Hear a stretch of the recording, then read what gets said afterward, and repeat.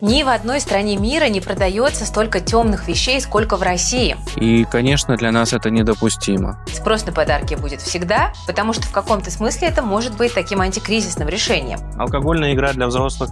О, вот эта штука потрясающая, это антистресс вообще классный. Такие очки даже, наверное, я своей кошечке куплю домой. Полностью ощутить эмоцию можно только офлайн. Когда я увидел этот формат, я сразу понял, что, во-первых, он кризисоустойчив очень, потому что средний чек невысокий, очень широкая целевая аудитория. Кто приходит в магазины моде? В большей степени это активные молодые там, женщины и девушки. Как мать троих дочерей, она поймала себя на мысли. Здесь все хочется купить. Вот я еще хочу на копилочку обратить внимание. Это же, по сути, символ Invest Future. Мы посчитали у вас трафик, вот, пожалуйста, видео, вот, пожалуйста, подсчет, и вот наша финансовая модель. Креатив, надежность и высокая доходность. Качественный товар должен стоить денег.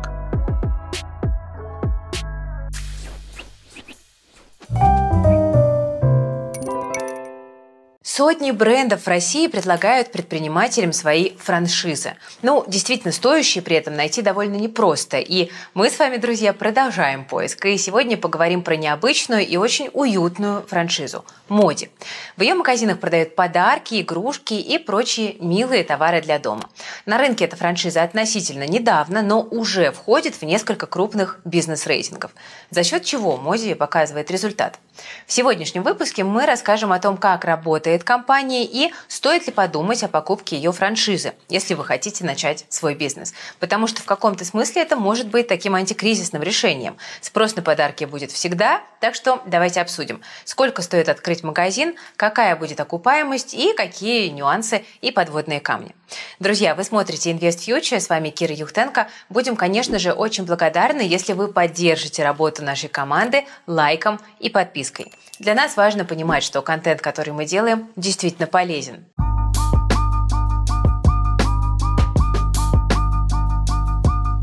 Ни в одной стране мира не продается столько темных вещей, сколько в России. Так подумал когда-то предприниматель Игорь Сосин. Бизнесмен любил путешествовать по миру и всегда обращал на яркие красочные магазины внимание. По его наблюдениям, в России такого было маловато. И вот в 2017 году Сосин принял решение открыть что-то похожее у нас. Что-то с такими же разноцветными, яркими, красочными товарами, которые дарят положительные эмоции. Первый магазин Моди появился в московском торговом центре «Атриум». В компании говорят, что это был феноменальный успех. Почти сразу приняли решение бизнес масштабировать, и вот сейчас у Моди более 120 магазинов в России, как своих, так и открытых по франшизе. Компания растет, она показала рост порядка 15% за последний год. Хороший результат. Франшиза при этом появилась не сразу. Сначала компания отстроила процессы в своих точках, и в июне 2022 в Москве открылся первый франчайзинговый магазин «Моди» в торговом центре остров мечты. Конечно, Моди сейчас не единственная компания, которая предлагает подобный формат. Ассортимент частично схож с предложениями IKEA и Zara Home, но эти бренды, как мы с вами знаем, из России ушли. В целом, основные конкуренты Моди – это компании, которые продают товары для дома, игрушки, сладости, канцелярию. Ну и в компании утверждают при этом, что не боятся соперников на рынке и что точно таких же товаров такого продуманного ассортимента нет ни у кого. Чтобы успешно конкурировать, у Моди есть уникальное торговое предложение. Большинство товаров продается под собственным брендом, то есть под брендом Моди. На франшизу Моди обращают внимание профильные рейтинги, кстати говоря. Она входит в топ-100 франшиз России и СНГ по версии портала businessmans.ru за 2023 год и в топ-25 франшиз сегмента ритейл в России по версии портала buybrand.ru за 2022. Как говорят в моде, франшиза фактически дает человеку почувствовать себя рантье, потому что большую часть работы по франчайзинговому магазину ведут сотрудники компании. Как моде своих партнеров поддерживает, об этом в деталях тоже чуть позже расскажем.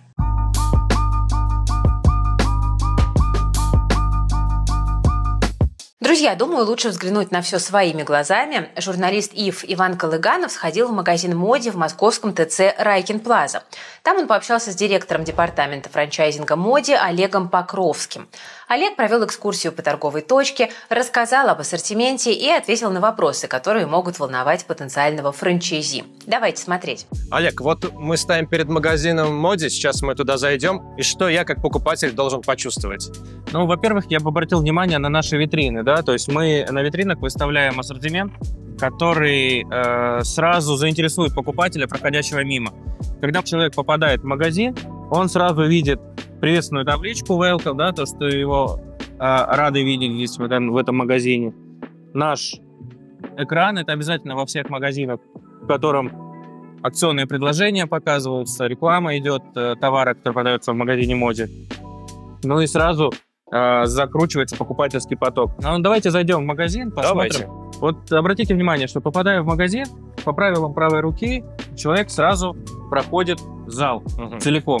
И пока он не пройдет все категории, весь зал, он не попадет на кассу. Ну вот, например, носки, о которых мы с вами говорили, производятся в России. Я бы себе выбрал бы вот такие, например.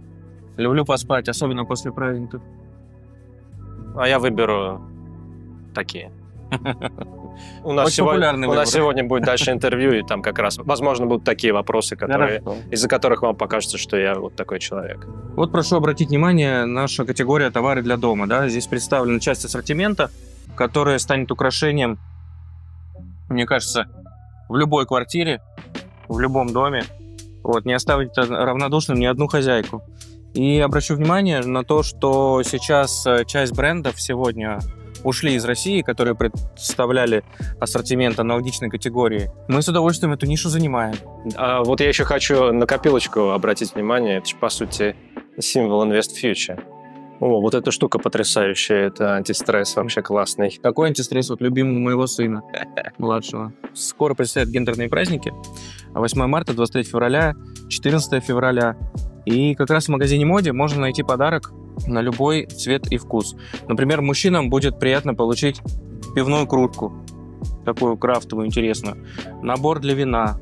Где-то у нас здесь еще были а, камни охлаждающие для виски.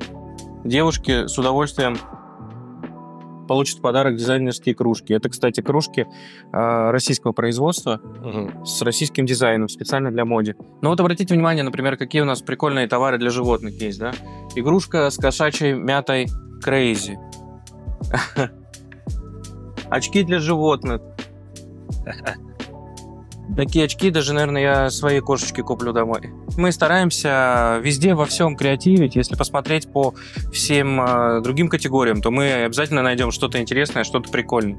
В этой части зала у нас представлены игры и игрушки как для детей, так и для взрослых. Есть интересный магический шар в моде. Помните, как в интересном фильме можно узнать свои предсказания? Алкогольная игра для взрослых, шотпон, деревянная развивающая игра для детей. Ну, То есть, опять же, на любой вкус, на любой возраст можно найти себе что-то интересное. Осенью у нас начинается сезон back to school, так называемый, да, возвращение в школу. И вот этот отдел канцеляр, который вы сейчас видите, он э, увеличивается в два раза. То есть матрица магазина, она не статична, она меняется в соответствии со сменой категории, со сменой экспозиции магазина. Ну и такой ассортимент тоже не оставляет равнодушным ни одного школьника, студента, да, то есть прикольные, интересные такие канцелярские штучки, которые можно даже поиграть. Один из основополагающих элементов э, магазинов в моде – это безупречная выкладка товара.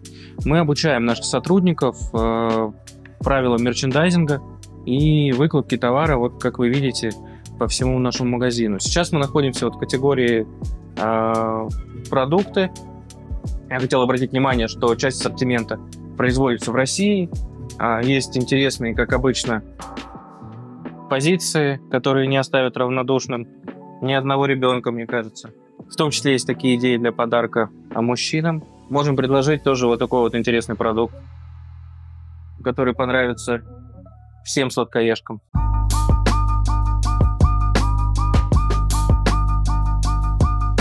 Ну что, как вам магазин? Есть ли такой в вашем городе? Может быть, что-то там покупали? Расскажите обязательно в комментариях. Мне кажется, очень ярко и позитивно.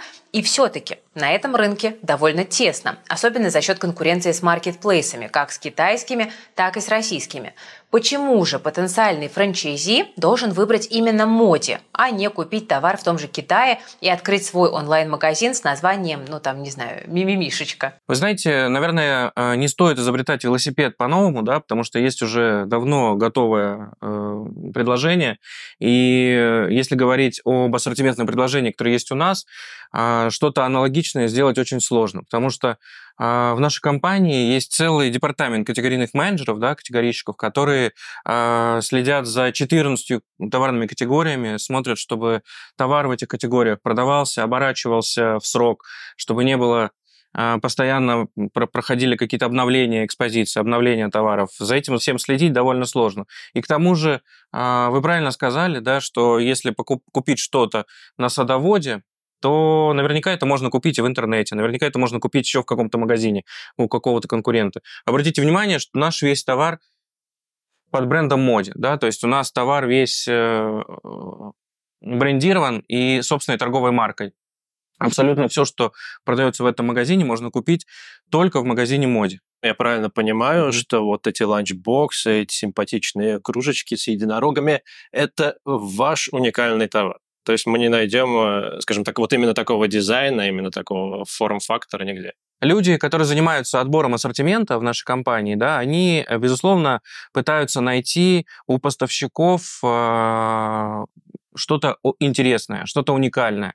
А, именно то, чего нет э, в других магазинах, нет в маркетплейсах. Вот очень интересно, что у нас в России производят. У нас в России производятся чулочно-носочные изделия, часть э, того, что представлено в моде, да, и продукты.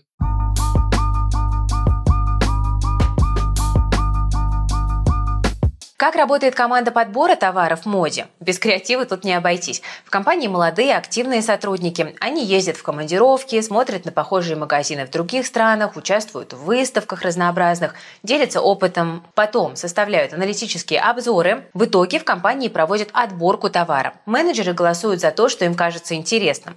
Далее потенциальные новинки проходят еще несколько этапов голосования, и руководство принимает решение о включении позиции в ассортимент. То есть процесс не то, чтобы просто простой и какой-то стихийный. Наоборот, как мы видим, продуманный и обоснованный, но в то же время творческий. Кстати, самую большую прибыль моде сейчас приносит категория товары для дома, и в том числе из-за того, что многие конкуренты из этого сектора Россию покинули. Потом идут игрушки, и подарки. Как формируется ассортимент магазина и какая роль франчайзи в этом? А, формирование ассортимента магазина при открытии – это полностью зона ответственности компании Моди. А, наши специалисты определяют, в зависимости от конфигурации торгового зала, определяют набор оборудования, а, категории, которые будут представлены в магазине, и полностью заполняют товарную матрицу нашим товаром.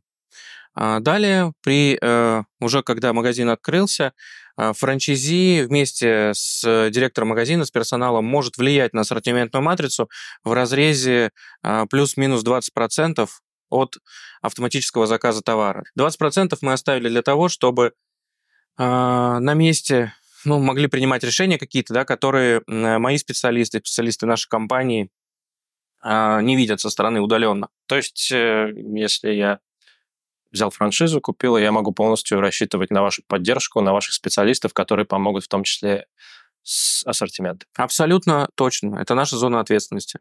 А какие форматы торговых точек существуют? А, мы открываем магазины от 100 метров квадратных до 250 метров, да, но идеальный магазин для нас это 150 метров. В этом магазине будут представлены все товарные категории и ну, оптимальное количество ассортимента для своевременной оборачиваемости.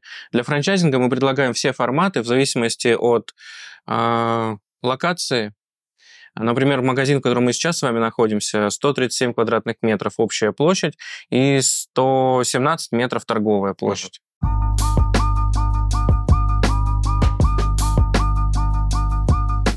Как мы поняли, Моди позиционирует себя как магазин эмоциональных товаров.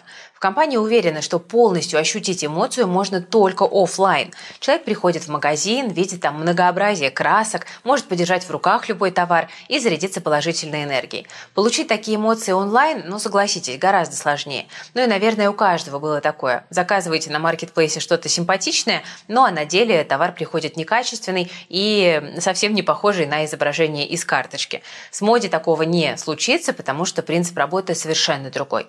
Ну вот, допустим, давайте вам понравился формат этих магазинов, и вы готовы получить франшизу. Здорово. Что вам нужно для этого знать и предпринять? Чтобы стать франчайзи партнером моде, желательно обладать ну хотя бы минимальным предпринимательским опытом. Это важно отметить. Партнер должен разделять ценности компании, ему должен нравиться товар. Ну и в компании говорят, что часто так и бывает. Человек после похода в магазин остается под впечатлением. Видит или слышит там же в магазине там, объявление о франшизе и вскоре оставляет на сайте заявку. Такой франчайзи с большой долей вероятности получит добро – Окей, ну а с кем Моди точно не будет работать? Это те люди, которые рассматривают этот бизнес э, с точки зрения только денег. Да, то есть если они э, говорят, что ну, не очень нравится ваш товар, не очень нравится магазин, но вроде работает, вроде приносит прибыль, поэтому давай-ка я открою, пусть работает. Либо открою там жене в подарок, либо там открою там, сыну в подарок, пусть занимается, пусть возится, ну, мне это не особо интересно. То есть, если у человека интереса нет к нашему бизнесу, то зачем этим ну, заниматься, как говорится. В моде предлагают партнерам оставить контроль за бизнес-процессами на стороне компании. Франчайзи ежемесячно обсуждает онлайн или офлайн с представителями моде показатели, результаты и планы. Есть, кстати, партнеры, которые открыли 6-7 магазинов по франшизе. При этом бизнес можно успешно вести из другого города, ну, скажем, вы живете в Магадане, а ваш магазин в Москве. Это, кстати, реальный и вполне успешный случай. Я хочу открыть франшизу. Идея родилась. Какие этапы мне нужно пройти до непосредственного открытия магазина? Э, в первую очередь э, интересует локация нас, да, то есть нам нужно определить с вами, где мы будем открываться, в каком городе, в каком торговом центре. Для того, чтобы нам составить финансово-экономический прогноз, мы должны посчитать трафик, торгового центра. Мы считаем трафик всегда с помощью профессионалов. Нет такого понятия, что глаз-алмаз. Я знаю, что здесь точно будет. Я уверен, я живу здесь 10 лет. Такие истории, мы в такие истории не верим. Э, мы считаем трафик э, минимум 2 дня, будничный день и выходной день.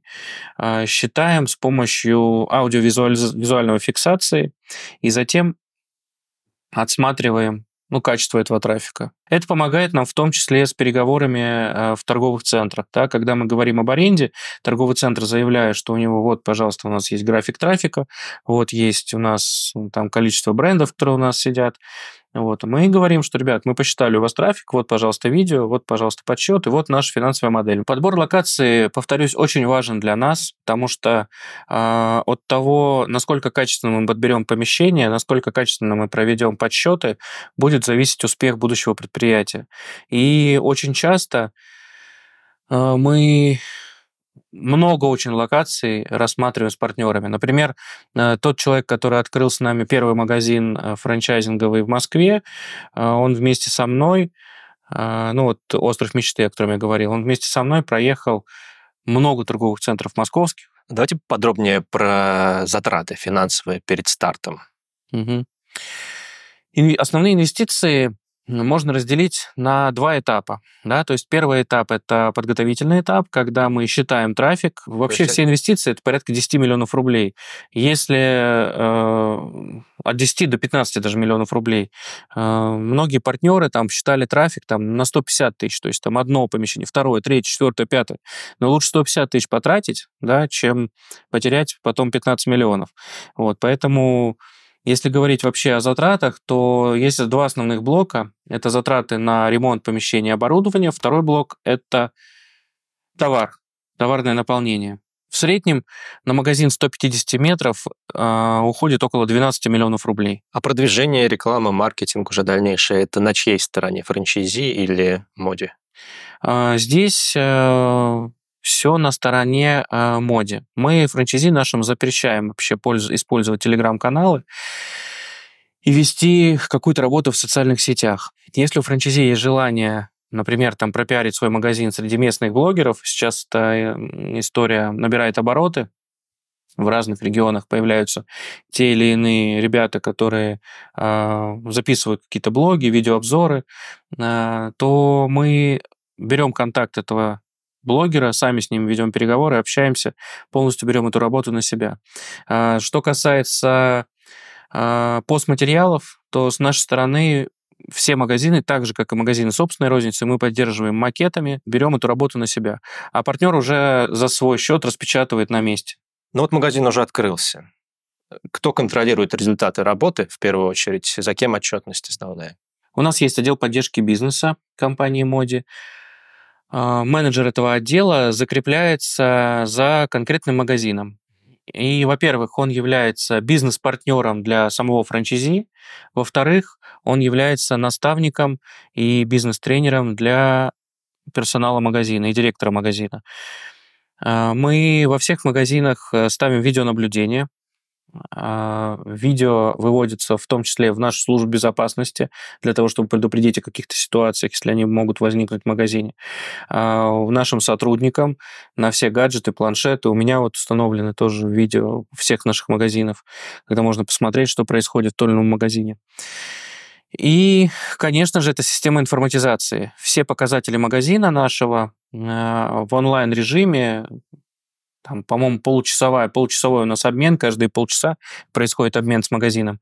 Мы видим в системе информатизации. И, конечно, у каждого магазина, у каждого директора есть некоторые цели, KPI, какие-то планы, которые мы закладываем в финансовую модель, и мы уже над этим работаем. То есть мы смотрим сотрудники, поддерживающие бизнес, а, смотрят э, среднедневной выручки, смотрят э, оборачиваемость того или иного ассортимента, оборачиваемость категорий, а, смотрят фотоотчеты по выкладке, либо с помощью тайного покупателя мы смотрим, как э, какая выкладка в магазине, да, как в магазине персонал приветливый, неприветливый. Проверяем такие вещи. Вот, конечно же, смотрим на показатели финансового результата ежедневного, ежедневной выручки. Сравниваем показатели той или иной смены. Угу. Комплексный обзор проводим. Если мы видим, что магазин прогноз не выполняет, э, есть какой-то сбой, то мы начинаем активно подключаться, выяснять либо проблема с выкладкой, либо проблема с персоналом, либо еще какие-то моменты, может быть, товарного запаса недостаточно. Вот, но мы держим руку на пульсе и даем обратную связь партнеру. Бизнес это не настолько сложный. У нас, повторюсь, своя уже большая сеть, мы прекрасно знаем ту или иную проблему, и если есть конкретный трафик, а он есть, потому что мы его считали да, физически, то значит магазин должен работать.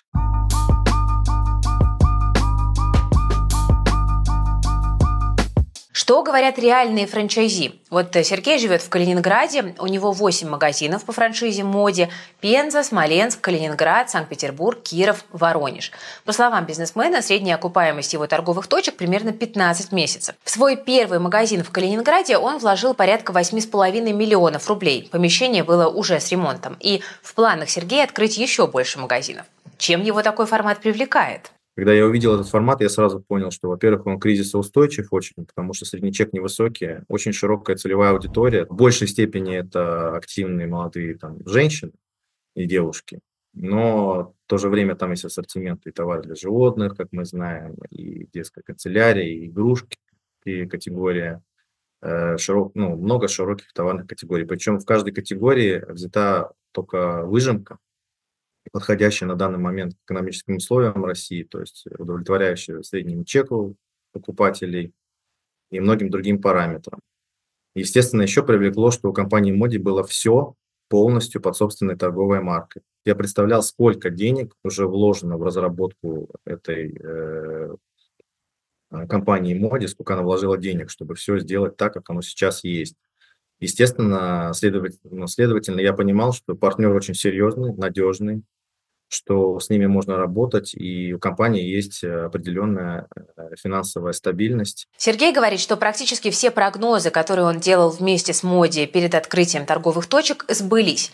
Ну и тут стоит добавить, Сергей не новичок в бизнесе, он уже работал в сфере товаров для детей. У него изначально была команда, которая и сейчас помогает вести дела. Ну и помогает настолько, что в некоторых своих магазинах Сергей даже не был лично ни разу. Но по его словам этого и не требуется. В том числе благодаря сервису, который предоставляет предоставляет Моди своим франчайзи? Мы заходили в некоторые торговые центры, э, которые, ну, так сказать, не вызывали стопроцентного доверия, но в конечном итоге все, в общем-то, оправдалось, все прогнозы сбылись. Главное иметь надежных партнеров, э, не только даже, ну, в том числе моде, там, логистических, не знаю, там, э, каких-то подрядчиков по персоналу, который предоставляет рекламу и так далее.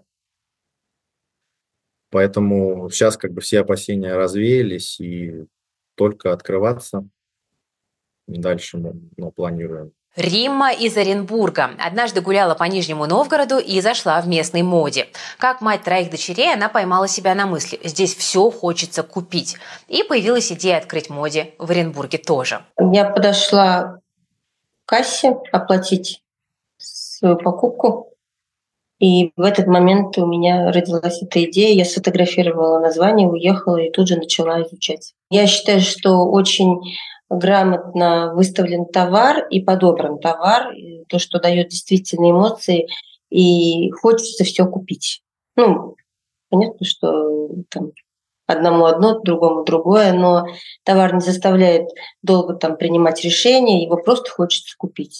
То есть и ценник соответствует, и подача соответствует, и э, ну, сам товар. Вы сказали, что это было эмоциональное решение, вам понравился магазин, и во многом на эмоциях вы это сделали. А какие опасения вот чисто практически были перед тем, как открыть магазин, и оправдались ли они или развеялись? Опасения были, наверное, больше финансовые, с учетом того, что товар недорогой.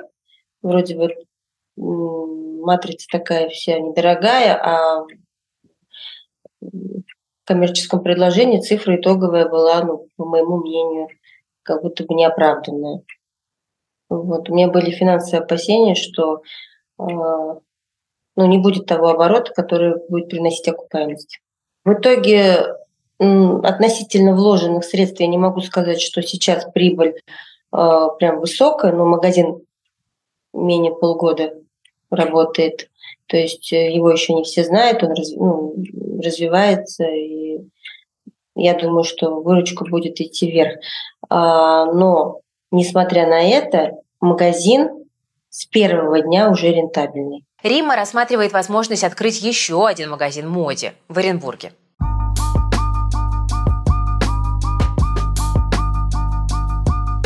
Я напомню, что у Моди сейчас более сотни магазинов по всей России, и примерно четверть открыта по франшизе. Франчайзи новичкам есть на кого равняться, брать в пример, но в то же время получается и большая конкуренция, соревнования между торговыми точками одной компании. Как Моди делает так, чтобы магазины не забирали друг у друга клиентов, и как долго компания будет сотрудничать с партнером, который дает недостаточно хорошие показатели? В чем главные ошибки начинающих франчайзи? Мы же все ошибки знаем, да, стараемся их предупредить, вот, но большинство а, моментов связаны, конечно, с эмоциональным фоном при открытии магазина. Потому что очень часто франчайзи говорит, что я знаю свой город, я знаю всех покупательские потоки, я знаю все торговые центры. Давайте не будем считать трафик, давайте откроемся вот там, потому что у меня там есть, например, там свой магазин, и он хорошо работает. Он принимает на эмоциях это принимает решение об открытии магазина. А, второй момент, когда, например, торговый центр какой-нибудь самый классный в городе, а, ставка завышена по аренде. Мы видим, что у нас финансово-экономический прогноз показывает, что торговый центр будет зарабатывать ежемесячно больше, чем будет зарабатывать наш партнер. И, конечно, для нас это недопустимо. Конечно, мы должны выйти на паритетное э, соотношение хотя бы, да, вин-вин с торговым центром. Третий момент – это э, персонал. Э, франчайзи на начальном этапе многие хотят сэкономить на персонале, да, то есть не заполнять полностью штатное расписание, как э, указано в нашей финансово-экономической модели. Вот мы здесь партнеру говорим о тех рисках, которые могут быть, что не будет хватать свободных рук, особенно в пиковые часы, особенно в те моменты, когда идет серьезный наплыв покупателей в магазине. Вот. Ну и, в принципе, со всеми удается договориться магазинов много, наверное, некоторые соседствуют. Скажем так, есть какой-то норматив, чтобы там в одном ТЦ, ну, понятно, наверное, не было двух точек моди. Вот как далеко друг от друга они должны быть? Вы знаете, вообще у каждого торгового центра есть свой покупатель, да, и иногда мы сталкиваемся с тем, что люди, которые ходят из микрорайона в один торговый центр, они во второй торговый центр ходят редко. А, но, тем не менее, в договоре коммерческой концессии, как для себя, так и для франчайзи, мы прописываем некоторые ограничения. В радиусе там, 2 километра мы не можем открывать магазины моде. То есть есть такая защитная зона, защитная территория. Вот. Но довольно часто мы вместе с франчайзи э, идем на разные компромиссы. Например, сейчас мы планируем открыть магазин с франчайзи а, в Воронеже, Вот, а в полутора километрах у него уже есть еще ну, его же магазин, его же торговый центр. Но, ну, скорее всего, мы проект согласуем, потому что один и тот же франчайзи, он будет получать выручку со всего этого, со всей этой территории. И вот э, к чему я веду. То есть точек много, конкуренция может быть даже большая между точками. И я боюсь, например, показать какие-то плохие, ну не то что плохие, результаты, например, меньше, чем э, соседняя точка. И где тут, э, собственно, та грань, на, насколько долго вы будете спасать ту точку, которая, скажем так, является слабым звеном? Очень хороший вопрос. А, действительно, у нас на сегодняшний день таких ситуаций, слава богу, пока не было, и, надеюсь, не будет. Вот. Но если такое, не дай бог, произойдет, то, конечно, мы со своей стороны будем предпринимать все усилия для того, чтобы нормализовать ситуацию, вот. Но если ничего хорошего из этого не выйдет и не получится нам привести показатели к норме, то тут есть два варианта, как в этой ситуации действовать. Во-первых, можно рассмотреть переезд с одной локации на другую. А, дело в том, что у нас э, ну, фактически все оборудование мобильное, товар весь упакован, э, и его можно собрать не испортив, соответственно, да, перевести с одного места на другую локацию. Это раз. Во второй момент, если э, франчайзи действительно, не дай бог, там разочаровался в компании Моди и не видит, э, и у него нет желания там переезжать, не видит э, никаких предпосылок к тому, чтобы продолжить с нами работу, мы можем предложить э, франчайзи выход из договора. В этом случае мы со своей стороны готовы рассмотреть покупку у него оборудования, покупку товара, ну, чтобы минимизировать каких-то, какие-то его риски. Но это всегда индивидуально.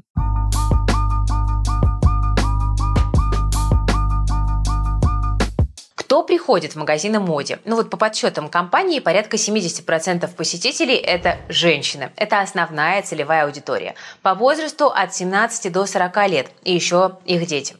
В самом начале пути Моди позиционировала себя как фановая, веселая история.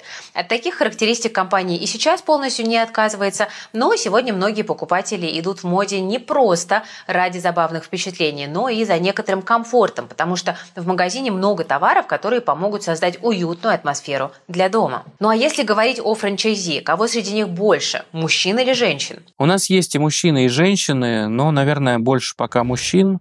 Вот. Но вы знаете, если так вот Э, вспоминать про всех наших франчайзи, то, наверное, это больше такое семейное предприятие, потому что и муж, и жена, они ну, вовлечены в ассортимент, они вовлечены вообще в магазин, им интересно этим заниматься, и мы со всеми коммуницируем.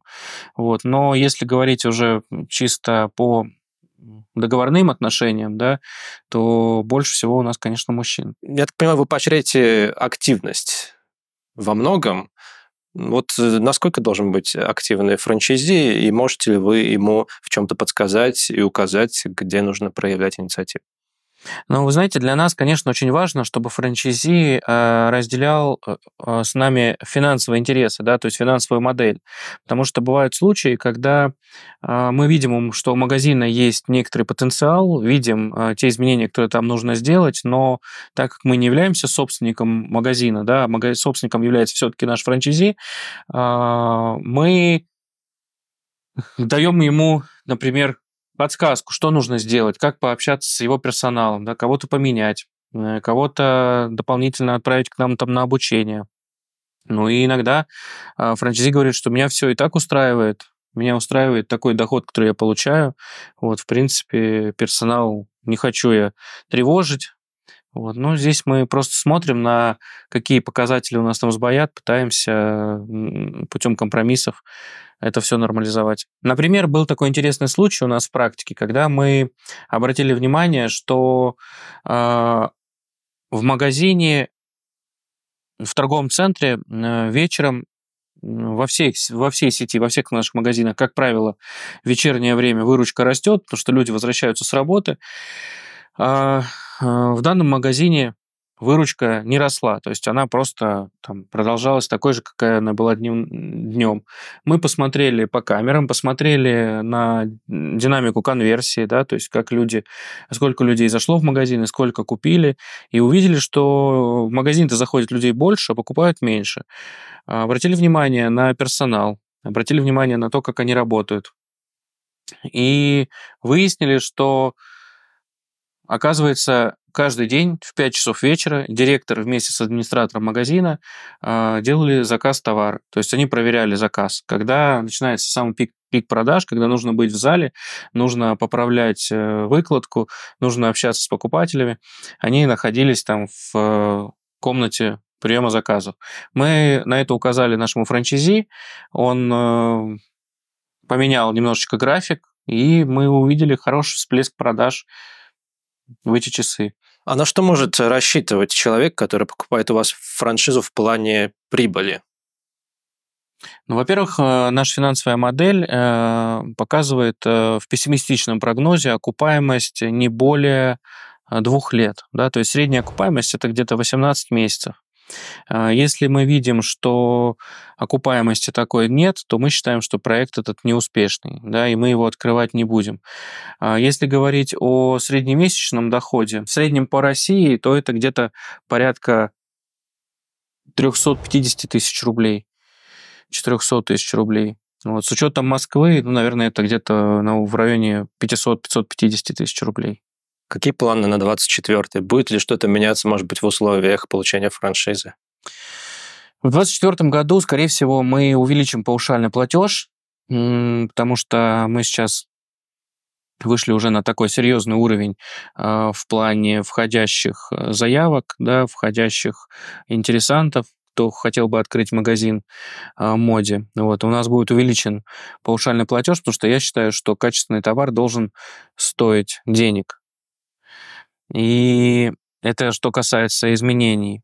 А, а в целом, если говорить о планах, то мы планируем в 2024 году увеличить нашу сеть еще на 80 магазинов. 40 из них мы откроем в собственной рознице, и 40 из них откроем по франчайзингу. Франчайзинговые магазины, вот из 40 франчайзинговых магазинов, а, половину или больше мы планируем открыть с действующими партнерами. У нас практически нет партнеров, которые а, или не открыли второй магазин, или не находятся в поисках второго магазина. Вот, все партнеры прекрасно видят, понимают, как это работает. Мы компания открытая. Наша компания помогает партнеру вести бизнес-процессы магазина, да, то есть берет на себя управление фактически а, и работой с персоналом магазина, контролем показателей, определением ассортиментной матрицы. И эта работа стоит 3% роялти. Да, то есть мы берем с партнера 3% роялти, но начиная с четвертого месяца работы, как только магазин уже раскрутился и начинает, ну, стал уже на такие рельсы, а, берем с них роялти. Если говорить про паушальный платеж, то на сегодняшний день паушальный платеж составляет 350 тысяч рублей. Вот, ну, в 2024 году мы планируем его увеличить до 500.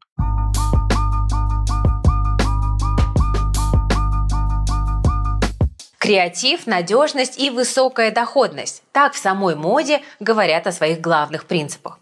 Я очень надеюсь, друзья, что наш сегодняшний выпуск дал вам достаточное представление об этой франшизе. Если вы разделяете философию компании, вам нравится ее товар, вы готовы следовать советам команды моде, то тогда вы, возможно, получите дело, которое будет приносить прибыль без какого-то излишнего вовлечения в процессы. Но, как рассказали наши собеседники, активных и инициативных франчайзи в моде тоже любят и всегда готовы обсуждать тонкости работы. Скажу традиционную для нашего канала мысль. Если вы хотите вложить последние деньги в дело, где есть риск эти деньги потерять, вы, конечно, подумайте дважды. И уж тем более подумайте, если собираетесь брать для этого кредит, особенно с сегодняшним процентом. Ну а если свободные средства у вас есть, то почему бы не попробовать? Франшиза при разумном подходе может стать одним из нескольких способов сохранить и приумножить ваше накопление. Друзья, для вашего удобства в описании к этому видео я оставлю ссылку на сайт компании. Переходите, если заинтересовались, там можно познакомиться со всеми условиями поподробнее и задать вопросы. На этом у меня все. С вами была команда Invest Future. Я Кира Юхтенко. Берегите, пожалуйста, себя, своих близких, свои деньги и инвестируйте их с умом. До скорой встречи!